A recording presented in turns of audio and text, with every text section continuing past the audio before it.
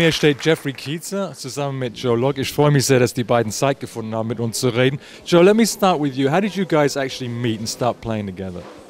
We met um, 15 years ago. Um, we played uh, one night together with the Mingus Big Band. That was the first time we shared the stage together, I believe. It was delicious too. He took the left side and put a little salt and pepper on it, and I had the right, and with mayonnaise and a little mustard. It was great. One of the best stages I've ever eaten. And I can um, see where this is going. And yeah, after that, we did a week at the Village Vanguard with Marvin Smitty Smith's band, and uh, that was the first time we played a week together. And uh, after that, we parted company for for quite a while, um, and It was really all Joe's fault.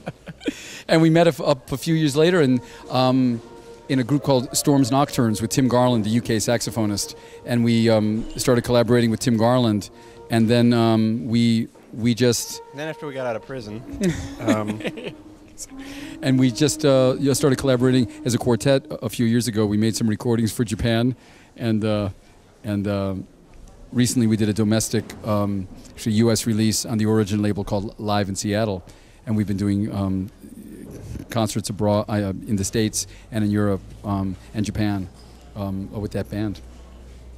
it's been a lot of fun, really. I mean it. I mean it. It's been great. Now, I was going to ask you, and I'll ask it to you now because it's quite interesting to put it at this stage. You mentioned on stage that when you were still at school at Berklee, right, you had the choice to play with either Miles Davis, Art Blakey, and uh, judging from your sense of humor, I can imagine now why maybe you didn't go with Miles, but I don't know. Maybe you could tell me. Why did you not choose to go with Miles Davis?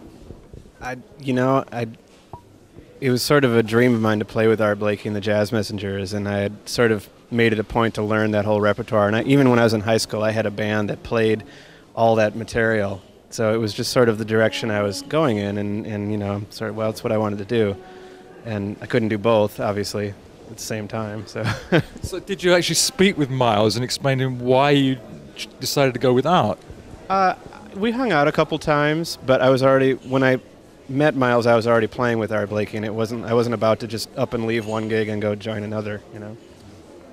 But you were very precocious too, right? I mean, one of the early performances of yours with Dizzy, Dizzy Gillespie, which is what when you were still pretty much a teenager. I think. How did that come about? I was playing with the Spider Martin Quintet. Spider Martin was a saxophonist, and uh, playing with his band, and we did a couple of tours with Dizzy. So when I was uh, 17, um, I got to spend time with Dizzy. You know, him sitting at the piano, showing me chord voicings, and and packing up after the gig and driving, you know, 200 miles to get to.